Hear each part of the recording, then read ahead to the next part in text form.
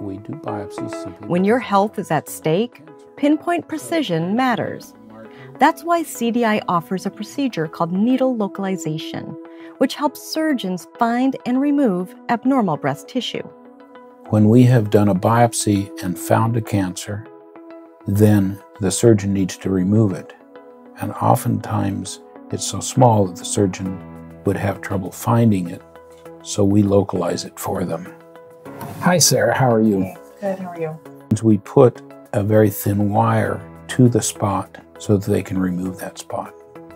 The procedure takes just 10 minutes. And just put a little skin marker on here. It starts with using ultrasound imaging to find the precise location of the abnormal tissue. This local anesthetic will just sting just a little. we would use some local anesthetic to anesthetize the area, and then the wire comes within a needle. It's not a very big needle, but it comes within a needle. We insert it to the uh, lesion, then remove the needle, and the wire stays there. Now I can remove the needle.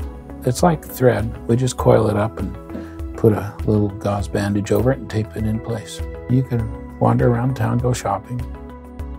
The wire stays in place until your surgery, giving your surgeon an important tool for success.